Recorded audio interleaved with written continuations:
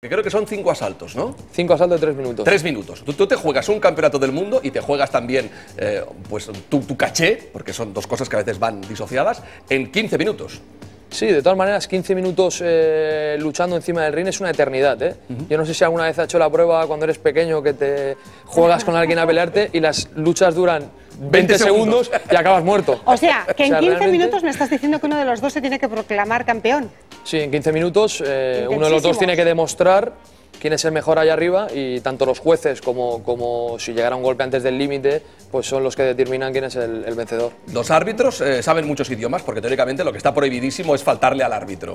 Pero ¿tú crees que el árbitro... Bueno, con el bucal no se escucha muy bien, entonces tampoco, tampoco hay mucha, mucha, mucha no interactuar mucho con el árbitro, porque con el bucal lo que tienes enfrente tampoco estás como para hablar con el, con el árbitro.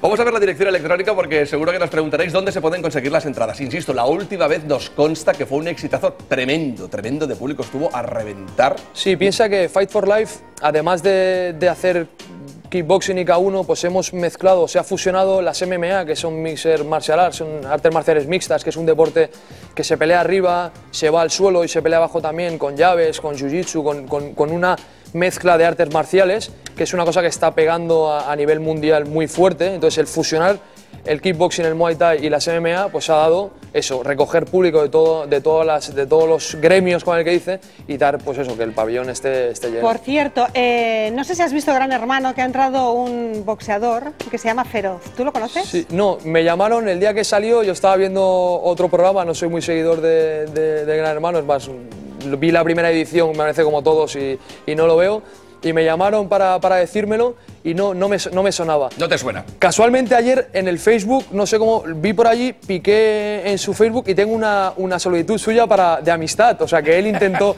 agregarme, pero realmente no, no, no lo conozco. No, sé nada de su carrera. Pude ver en un resumen, que me parece que fue vuestro, algunas imágenes Sí, suyas de sí, estamos viendo boxeando. Y bueno, pues la eh, reflexión que yo saco- hice, saco eh, mi- mis conclusiones, pero no, no, no lo conocía. no Ya, lo yo. César, yo le decía que eh, el otro día que este hombre, una promesa del boxeo no puede ser con 30 años.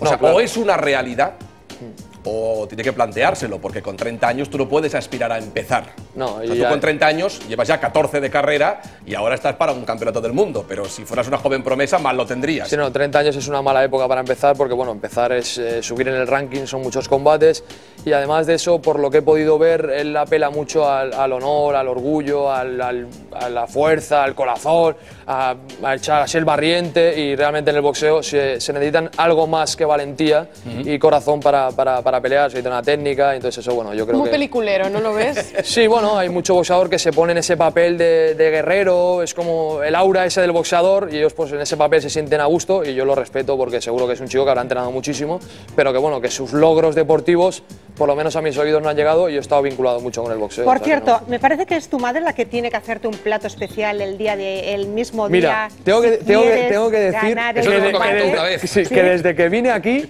se acabó el arroz con bacalao que me hacía mi madre. No me lo porque puedo el creer. preparador físico me dijo, arroz con bacalao el día del combate. si eso es lo que más sed da, Ostras. imposible. Entonces nunca más eh, Te lo hemos eh, se fastidiado, supo. entonces. Hemos fastidiado el planning del arroz con Jolín. Mi, gran- mi bacalao. gran Oye, comida me la Pues fastidiaste. que nos lo haga para nosotros. Eso sí, eso ella encantada, os lo trae aquí. Dos o tres cosas. La primera, la parte que más se resiente sigue siendo la tibia.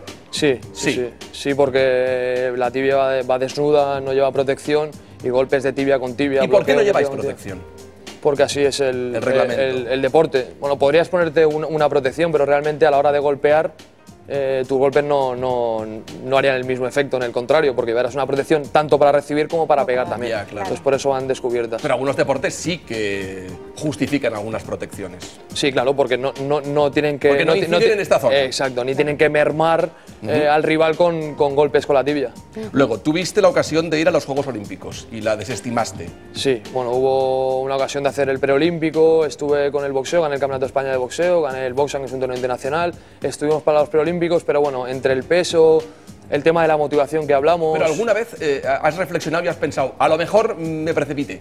Bueno, quizás siempre, siempre que uno ve los Juegos Olímpicos, yo soy seguidor de todos los deportes, cuando vi los Juegos Olímpicos, pues bueno, a todos nos gustaría eh, desfilar con la bandera de nuestro país, con los deportistas, mm, los mejores deportistas de tu país, pero bueno, es una cosa que en su día hice porque creo que tenía que hacer, si no estás en, un- en una... En una en una empresa así de difícil, si no, si no estás al mil por mil, es imposible conseguirlo. Entonces yo no estaba al mil por mil, quise ser franco y, y desestimé ir Hombre, a la eres campeonato. honesto, muy bien. Seguro que hay muchas madres que tienen la- el encargo, la solicitud, el deseo de los niños de, de, bueno, de poder practicar ese tipo de deportes. ¿Qué les dirías a las madres que ahora mismo piensan, bueno, igual esto puede pasar factura en un futuro, puede dejar secuelas, puede ser peligroso para, para mi hijo?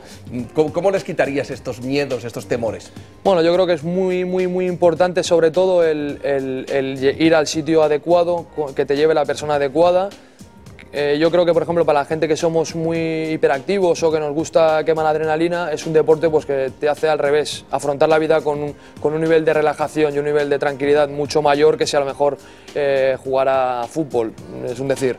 Entonces, eh, yo, las, yo las animo a que por lo menos prueben, vean cómo reacciona ese deporte en su hijo, si realmente lo altera más y lo pone más agresivo o realmente lo calma Tú y eras le muy hace nervioso canalizar. de pequeño. Yo era sumamente nervioso. Mi madre era de las de quieto, quieto, quieto, quieto, ¿dónde estás? Yo no paraba. Y a lo mejor el deporte te ha relajado incluso. Claro, eh, ir al gimnasio, estar cuatro horas diarias, dos horas diarias, una hora diarias, golpeándole al saco, moviéndote, descargando esa adrenalina y esa tensión que llevas, luego te hace, ya te digo, Sí, afrontar pero la una vida madre, por ejemplo, se puede preocupar porque a su hijo le den un mal golpe en la cabeza.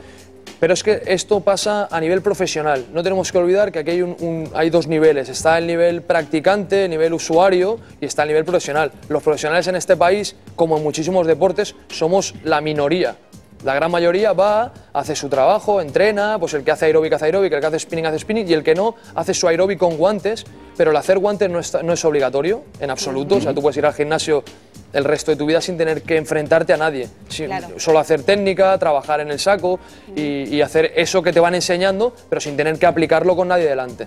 Entonces yo, yo creo que un buen consejo es dejarlos, no, no neguemos, que vayan, que veamos cómo reacciona y una vez vemos si les sienta bien, si les sienta mal, si, oye, pues a lo mejor es algo muy positivo para ellos, entonces que, que decidamos.